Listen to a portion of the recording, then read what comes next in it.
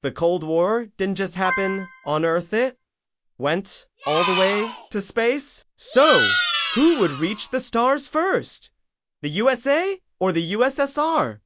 Let's find out. After World War II, these two superpowers were locked in a fierce competition to prove who was technologically superior. This rivalry kicked off the legendary space race. At first, the USSR took a commanding lead. In 1957, they launched Sputnik 1, the world's first artificial satellite, shocking everyone. Then, in 1961, cosmonaut Yuri Gagarin became the first human to orbit our planet, famously saying, The Earth is blue.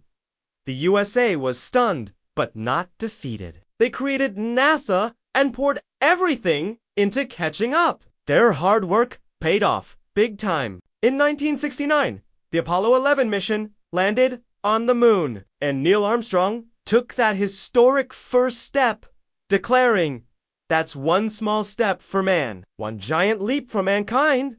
This incredible achievement effectively won the space race for the United States. But the story doesn't end there. The rivalry eventually cooled, leading to cooperation. Like the Apollo Soyuz mission in 1975, where American and Soviet spacecraft docked together in orbit. From rivalry to unity, the space race inspired generations and paved the way for modern marvels like the International Space Station and our dreams of reaching Mars.